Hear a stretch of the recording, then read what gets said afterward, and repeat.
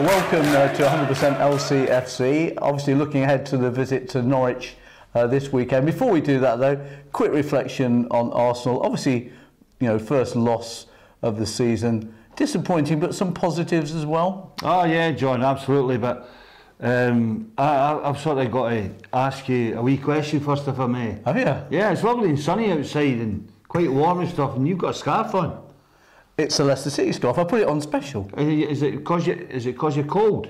No, it's because I feel warm. You Uh, when I think about Leicester, it makes me feel warm. what a good answer, John Sinclair. Eh? He's nearly getting as funny as me. Arsenal. Well, what can we say, John? Um, some good performances.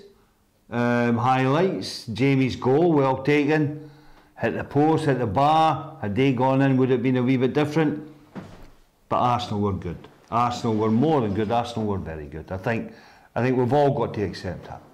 But also, I suppose, if you look at the amount of chances both sides made, it was a, a wonderfully open game, and from that point of view, very entertaining. Obviously, not the result we wanted, but you've got to say it, Yeah. was a great game to watch. If you can, yeah. And As a uh, neutral. well, Phil Thompson on, on Sky Sports, he Yeah. praise on both teams, and um, and I think quite rightly so, yeah. But we don't want to be getting beat five two every week, John. I mean that's that's that's important. It's important we put that to bed now. Learn the lessons. Mr. Ranieri, I think he'll go back to the drawing board a wee bit, but not too much, um, for uh, for the trip to Norwich on Saturday, which isn't going to be easy either, John. No, you look at their last four results. They've uh, drawn two away games at West Ham and Liverpool, Yeah. and uh, beaten a couple of sides, West Brom and Bournemouth, I think, at home. So, and they scored six goals at home in those two games as well. Well, Alex Neil, I like him. Um, very successful at Partick Thistle. And uh, if you listen to him talk, um, if you can understand him, bit It wasn't meant to be funny, John. Yeah. no, but if you, if you, if you can, he's, he's, he's very direct. He doesn't muck about. He doesn't, and you can see him. He was that type of player when he played. No nonsense. Got on with the job, and he's doing a fine job there. He's got players buying into his philosophy. He's got players believing in the manager, which is which is brilliant.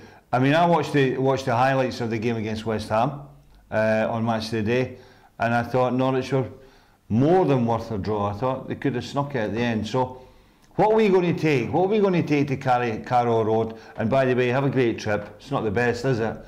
Um, what are we going to take there? Are we going to? Is the manager going to change the side? Is he going to do something maybe a wee bit about the back four? But I think he should. I think I think we need to try and tighten that up a bit.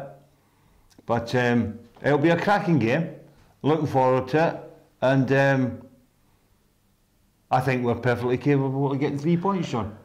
Now I know we brought this up before, and uh, obviously people are looking at the back four, given you know the goals they conceded at, at the weekend, Mm-hmm. and we've talked about the back, you know, the back three, uh, playing the th- the three five two system, or whatever system you you want to call it. But I know you talk about systems not winning matches, but do you think that they even Ranieri would even consider doing that? I think there's I think there's definitely a case for it. Hmm. Um, but he's got two centre halves sitting on the sidelines as well.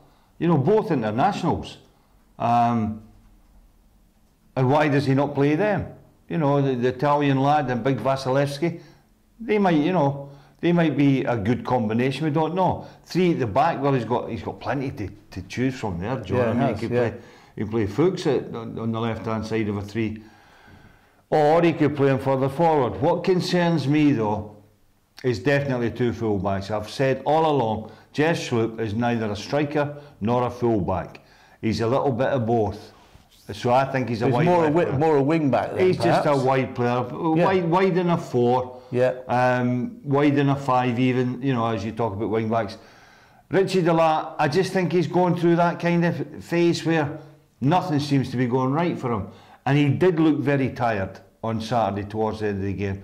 So it might be, I mean, I don't talk about dropping players, John. I talk about resting them. Yeah. You know, come on, put your arm around the shoulder. Come on, son, let's have a walk around the track and we'll have a chat. You're looking a wee bit jaded and everything okay at home, that kind of thing. You know, is it have you anything on your mind? Because that happens, and it's good management to do that. So, I think Mr. Ranieri he'll have a look at things all through this week on the training pitch, And whatever team he puts on Saturday, we've got a hell of a squad and a hell of a lot of quality in there. So it wouldn't worry me what team that he put, put out against Norwich on Saturday. And you might take the attitude that up until the Arsenal game, they've done very well. They got 12 points on the board.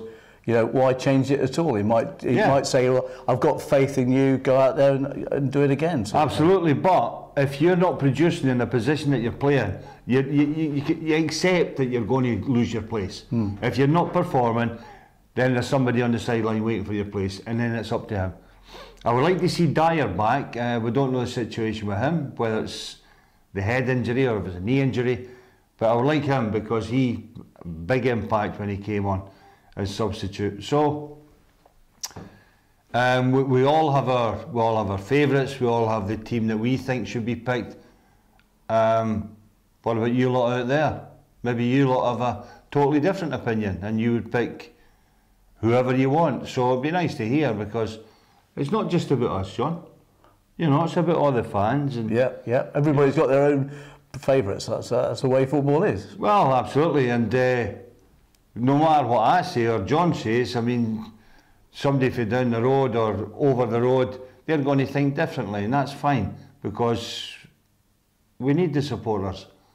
And on Saturday, there's going to be thousands going across there, John. Yeah. I remember the last time I was there with mm, radio, and uh, it was a magnificent day out. Absolutely magnificent day out. The supporters were unbelievable. And they're right opposite us, where we were sat, right opposite. And it was just, oh, it was fantastic. Lovely sunny day.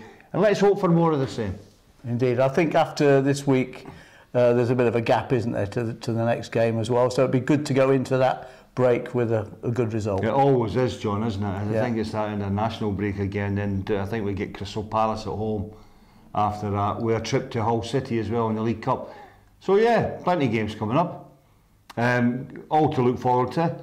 And um, I think a, a, a very good benchmark is going to be where we are end of December. Because I think we've got to go to Man City, Everton and Liverpool all in that month. Lovely. Bring it on, says I.